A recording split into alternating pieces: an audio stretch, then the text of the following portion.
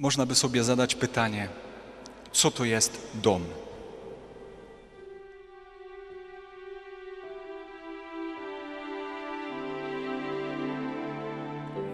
Bo dom to nie tylko budynek, ale to ludzie.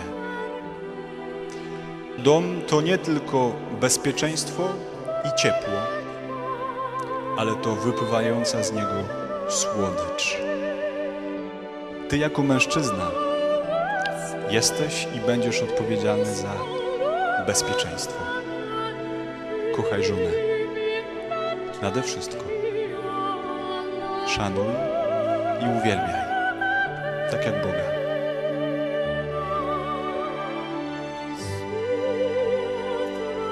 Zadbaj o ciepło w domu. Dbaj o swojego męża, tak jak o siebie. Dbaj o dzieci.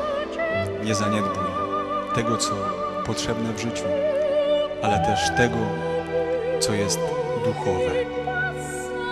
Bo kobieta to jest kapłanka ogniska domowego.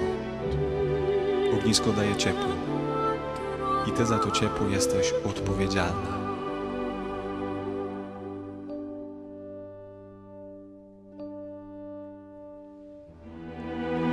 I kiedy już połączymy bezpieczeństwo i ciepło, to na pewno w waszym domu będzie słodycz.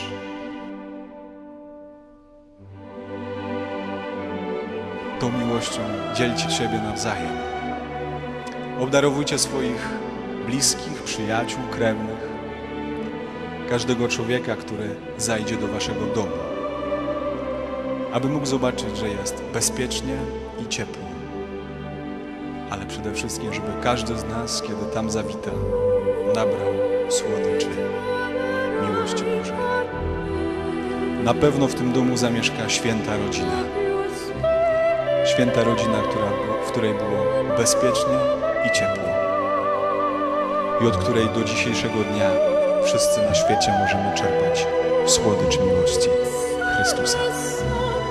I zadanie dla Was na całe życie skoro będziecie mieli u siebie w domu świętą rodzinę,